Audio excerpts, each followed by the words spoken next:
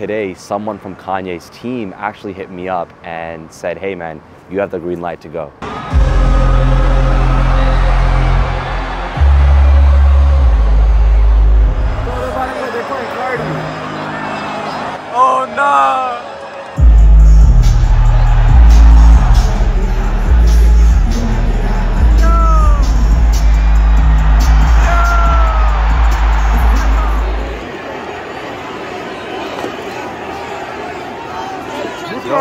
After the show was done, I went through like this back place with my pass, and then Brett and Kanye just randomly comes off, pulls off his mask, and he sees me, and I don't want to say anything, but he just. All right, y'all, it is Friday, February 9th, 7 a.m. right now. I just woke up and I'm, I'm, coming back from my favorite coffee shop. I just got a text message saying that I'm approved to go to the Kanye x Ty Dolla Sign Vultures listening party tonight. Like, tonight. So if you don't know, earlier in the week, I put up on our IG story, which is at Kids Take Over, go follow that. I said that I'd love to go and cover the event if possible. And I heard radio silence for a while, but today, someone from Kanye's team actually hit me up and said, hey man, you have the green light to go. And I mean, I always say shoot your shot because seriously, the worst that could happen is you get ignored or I guess they say no. And now here's the thing, I wanna be close. Like I want to be close to the stage. I want to be in the media access pit. I want to actually be able to cover this show for you guys as a journalist and not just me watching in the crowd. I feel like I put in so much work doing KTO and covering hip hop that I want to be recognized as someone that can actually go to these events and get the credentials to go give you guys exclusive info. But so here's the thing, when I actually asked Kanye's team about the media pass, I pretty much got radio silence and have not heard back at all. So I'm a little concerned. I don't really know what's gonna happen. So basically, here's my plan. I'm just gonna go. I'm gonna say fuck it. If I go there and ask and they give me the media credentials, then boom, I got that. Thing is though, I can't bring this dope ass vlog camera with me um, because if I just get a GA pass, they're gonna make me like dispose of this camera. Like I am not doing that. I spent a lot of money on this. So I think what I'm gonna do is I'm gonna go full out iPhone for you guys. I'm not gonna lie, pretty underrated camera here with the cinematic mode and the like 10x zoom. But yeah, I have never ever been to a Kanye listening party before and it's always kind of been my dream. I remember every time he did a stream, me and my brother would go order food, sit in front of the TV and obviously wait hours for him to come because he would come super late. And we would literally like dance and jump.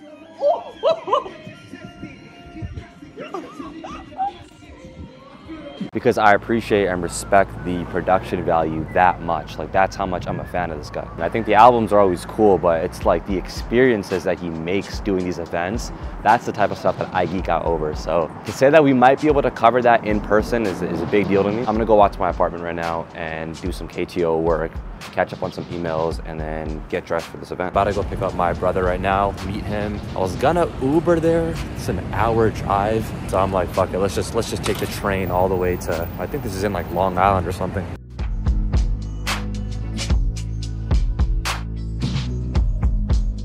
Yo guys, so I honestly thought we were just gonna get GA, but uh got the media pass. Got the media pass. And my brother got the media pass too. So uh, I will try to do the best for you guys. And I'm in the pit right here.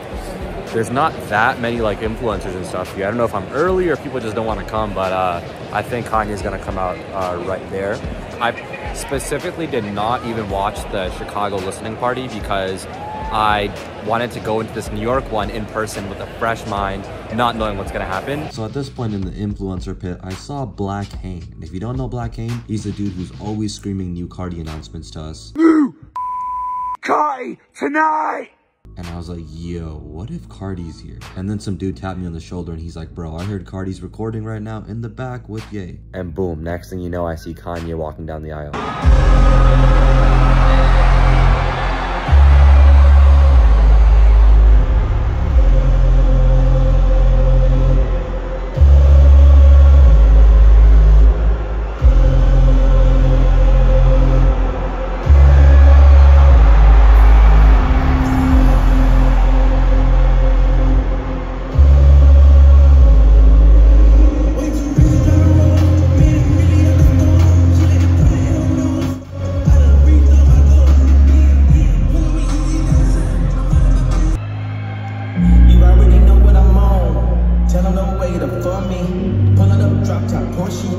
Just that glory.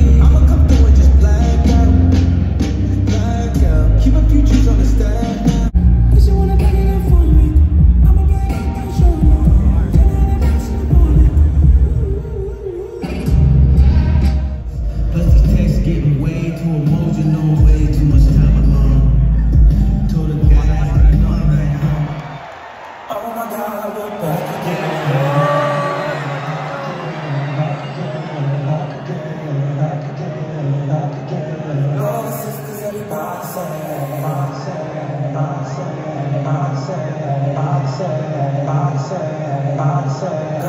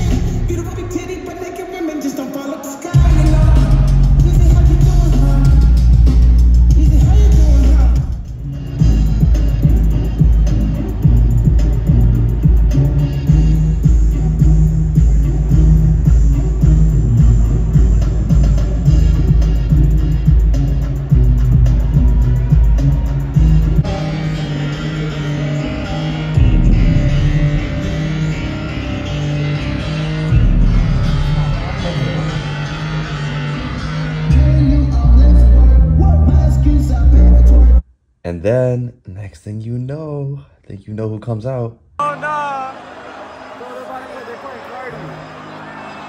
Oh no!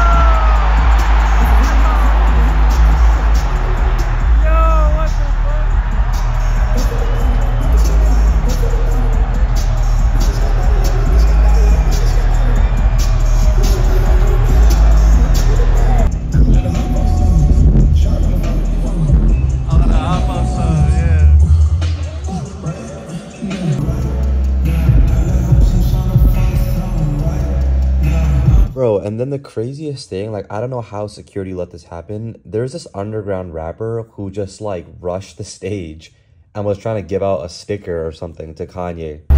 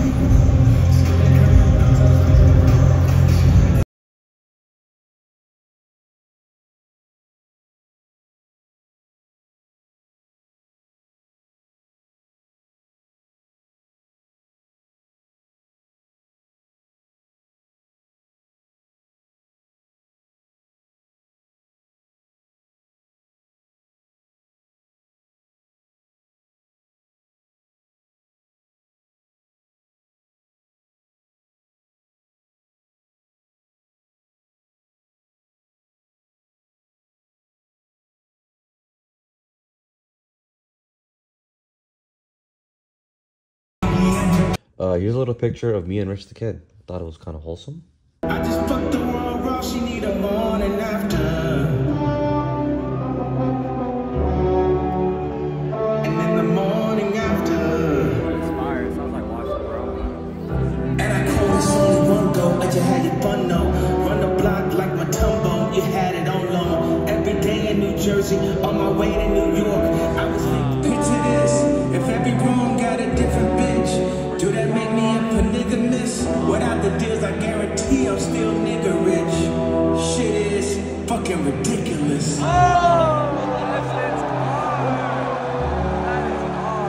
In case you don't know why we're so hyped, it's because that was a callback to So Appalled off My Beautiful Dark Twisted Fantasy. 30 white bitches. I mean, the shit is fucking ridiculous. But yeah, now peep this footage of Ye coming off stage and walking right past us because the concert was over. Oh shit, oh shit.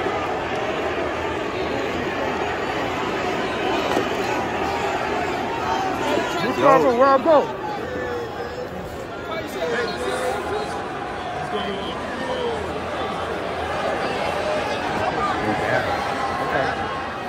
So I'll tell you guys about this a bit more later, but I actually went backstage after and I went into this little hallway and out of nowhere Kanye comes out without the mask. I had the chance to talk to him. I'm such an idiot. I didn't say anything, but I'll, I'll tell you guys about that in a sec. All right, show finished, and man, that was so special. I know I thought I was gonna be biased. What's up, bro? Oh, nice to meet you. I'm vlogging right now. Be Stephanos. KTO's the best just person to watch for anything. Such a positive person, such good content. Of course, bro. I was the kid that ran on stage. I was about to see some funny That was videos you? of that shit. You Yeah. got I video of them pushing you. Like you got pushed in the corner. Did you guys? You get the video of him choking me? Yeah, yeah. What did you think was gonna happen, though? I didn't think he was gonna choke. Okay, I knew they were gonna like throw me, throw me off and do some bullshit. I didn't think he was gonna fucking Yeah, grab me by my that neck. was- Uh, I was trying to promote him because I'm his manager. I had signs that said "Free Stephanos." Yeah, normally we have Snickers. It means to free yourself from anything that holds you back in life from progressing and becoming your best self. Were you trying to like tell that to Kanye or Carti or like? I mean, we got the of them. We're chance, just but just any expose way to expose it to them. Yeah. You gotta do what other people can't if you want to get to positions where other people aren't. go Go the extra fucking 20 miles instead of the extra one mile, bro. Like, you gotta do the shit that no one else will do. Alright, anyways, what I was saying was that was insane, bro. That was, I, I'm not even biased just because, like, you know, I got invited and things like that. Like, truly, that was, like, words cannot explain. I was just next to Rich the Kid the whole time, and he was just dancing with me. As catchy as the songs are and whatever, the biggest thing to me is, like, it's so inspiring being in a place like that and seeing them pull off this, like, grand production in, like, what, one day's notice. Anyways, about to go take the, the lure back home uh, to Brooklyn. All right, guys. So it's the next morning. I'm able to actually process all that happened. Um, so let's let's talk about it. So this media pass that I had, it actually let me walk through everywhere backstage. And surprisingly, there weren't that many people because I think Carti had just gone onto his own suite and everyone followed him. So I'm walking through this little hallway and there's this dead end. And out of the door, Kanye just randomly walks out. It was just him with like two security guards, and he takes his mask off. And no offense by this, but man, Kanye is really short. I don't know if it's because I'm tall, but I definitely expected Kanye to be a lot taller. Anyways, he just stops for a sec and looks at me and my brother, and he kind of waits for us to say something. But I genuinely did not want to come off as a fanboy. So I just like smirked, and then he smirked back, and then he walked off somewhere else. I'm so dumb though. I definitely should have said something. Like, not even a try to promote KTO type thing. Bro, it is so hard to film in New York without noise. Um, but yeah, I mean, I could have just asked him a question about what the album or the performance, because there was barely anyone there. And yeah, I guess I'm an idiot for that because I'll probably never get that opportunity again. But in my mind, how I'm wired is like, trust me, bro, don't worry, don't be a fan. You want to meet these people when they actually know who you are and you guys are working together. I don't know, maybe that's stupid. You guys let me know in the comments. Should I have said something? Would you have said something if you're me? Because I'm fully regretting it now. Anyways, let's talk about this album. So here's a list of the songs. Um, the green checkmark ones are the ones that I liked. It's actually quite a lot, but just because I liked a song doesn't mean I think it's incredible, by the way. Because I will say, I think Donda was definitely a better album than this, and that had a lot more highs. Whereas with this album, I fuck with a lot of the sounds, but I view it more as a playlist than an actual album. We'll put it this way, sort of how Drake made More Life, I kind of view this as Kanye's More Life. I'm not saying one album is better than the other. I'm just saying both felt like a compilation of good songs that you could just play on shuffle. I don't think there was any real cohesiveness to Vultures, really. I wouldn't say there was any real theme, no transitions that pull the songs together. I mean, it was pretty unorganized from the sequencing to the rollout, all the date changes. But I'm willing to say, honestly, who cares? Because genuinely, the music was so impressive. Bro, this man, Kanye, can be 70 years old and he'll still be the most innovative rapper out there. Every Kanye album, everyone gets the most excited because we have no idea what to expect. We don't know what it's gonna sound like. And I think that's how music should be. So I think sonically, this was a perfect mix of two albums Watch the Throne and The Life of Pablo. I heard a lot of Life of Pablo on songs like paid and paperwork. And then I definitely heard a lot of Watch the Throne in songs like Burn, Problematic, and King. You guys feel that too or no? I also feel great and a bit bad for Ty Dolla Sign because I mean, for one, he's getting so much attention right now on a global scale that he might have not gotten before. And getting to say that you made a collab album with Kanye is something that only like Jay Z or Kid Cudi could do. But I am really seeing how the main praise is really going towards Kanye. Like I did find it a bit odd that Ty Dolla Sign is not even on the album cover. It's just Kanye and his naked wife. But I'm gonna give Ty Dolla Sign his props because I think for recent Kanye albums, singing was not really his strong suit. So for Ty Dolla Sign to come in and make up for that, I think was super needed. And I think having him do a lot of the singing actually let Kanye do some of his best rapping, like real rapping, since The Life of Pablo or probably Yeezus, especially if you go towards the end of this album. Okay, features wise, I think the only outstanding features were India Love and yes, I'm being for real. I know she's not really like an artist, but her part was very catchy. Um, Playboi Carti for sure. I think Carnival is some of his best rapping that he's done recently. I think that song sounds like it'll be played in like a fucking Liverpool arena and could go down as song of the year. We'll see. Um, North West as well. I'm not even trying to be clickbaity here or trying to be different. Bro, were they like 10 year old bars? Yes. But was it extremely catchy?